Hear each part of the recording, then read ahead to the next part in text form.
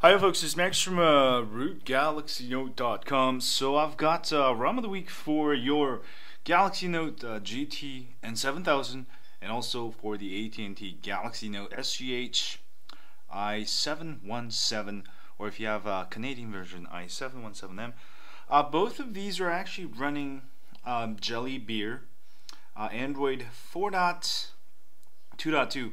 Um, now with this Jelly Beer ROM, you'll be able to get the latest Android 4.2.2. Uh, also, another reason why I'm featuring this ROM is I was looking for a good stable ROM on Android 4.2.2, uh, and Jelly Beer is actually one of the best right now uh, that has Android Android 4.2.2. Now, I tried a CM 10.1, um, but um, that one the USB was broken, but this one working uh, pretty flawless out of the box.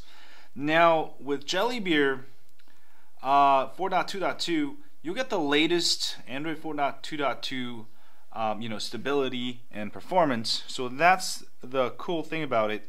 And also you'll be able to um, have some extra cool stuff like there's this thing called uh, let me show you just with one phone one phone there's this thing called jelly beer settings um, so if you like beer you'll like this ROM now UI modes you can change the LCD density basically it will change. Um, it will make everything smaller or bigger depending on how you want it. And also there's this thing called UI mode. Right now it's at none. Uh, but if you, I set this one on tablet, so now it's in tablet mode as you can see there. I've got my notification bar coming from the right. Um, so kind of a, like a paranoid Android settings, slightly different. Uh, so let me show you something that's different about it. Uh, paranoid Android is per app basis, whereas the jelly beer goes by DPI groups. Um, so for example, I put uh, my my uh, let me see, where did I put it? Uh, my gallery under 160 DPI there. Now let me remove this and show you. Um, so my gallery app, without putting it in a group, it'll look like this, right? Now I want to make everything smaller so I can see the photos better. Now what I can do is add it add it to this group 160 dpi so smaller the number the smaller it will get. So let me go ahead and add gallery here. Oop, did it work? There we go. Ah, there we go. So it worked. Uh, let me go ahead and open up gallery. And it will get smaller uh, a lot smaller here. And let's make it even smaller. And uh, let's actually put it in 120 dpi and let me go ahead and add gallery here and I think that will make it even smaller oh I might have to close it up and then open it up again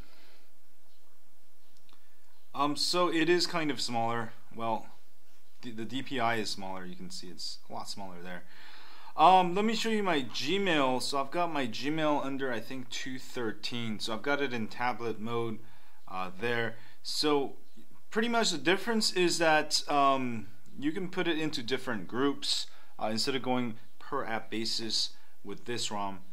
And that's kind of the main jelly beer jelly beer feature.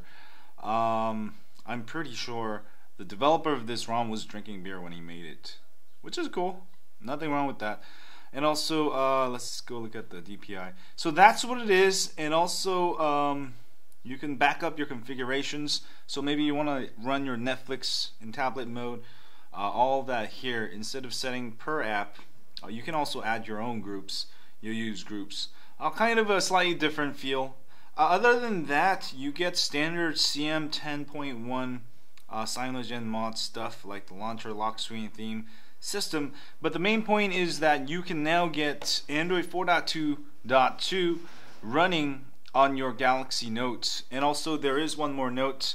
Um, on the GTN 70, 7000, the camera works just fine. Um, works really well actually. I think I changed the DPI here by accident, but I'll change it back eventually. Alright, there you go. Uh, camera camcorder works well on the GTN 7000 and uh, that looks a little messed up because I changed the to tablet mode I should change the DPI also next um, the camera on the AT&T Note works fine too. as you can see there. Uh, it will autofocus. There you go. But with the camera, it actually works fine too. Just when you actually record it, you'll get a little bit fuzzy here. Um, but uh, in actual playback, you'll see that it is just fine. So just one note of that um, that I wanted to tell you before you install this ROM. Uh, but you might have to play with the DPI settings a little bit. Eh, I don't know where I put that. There we go. Yeah, that's the video I just took. And you'll see that the actual video is just fine. You can see the resolution is fine. Yeah.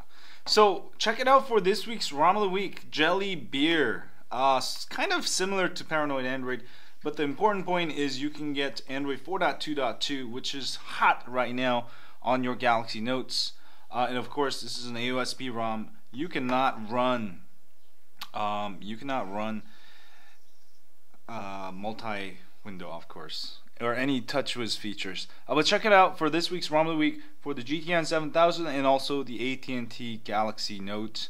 And also do flash the correct version for each of them. And don't forget to flash G apps, uh, Google apps. If you, otherwise, you won't get Play Store. Um, the link is GApps link is always down the under the ROM. And don't forget to donate to the developers of these ROMs. Um, they work very hard for free. Uh, it's an open source world driven by donations uh, by uh, people like you and me. Anyway, thanks you guys for watching this video. Um, if you like this video, as always, don't forget to hit that like button for me here, subscribe button down there, and I'll see you guys soon. And uh, try it out and let me know what you think of Jelly Beer and also what you think of Android 4.2.2. And stay high on Android.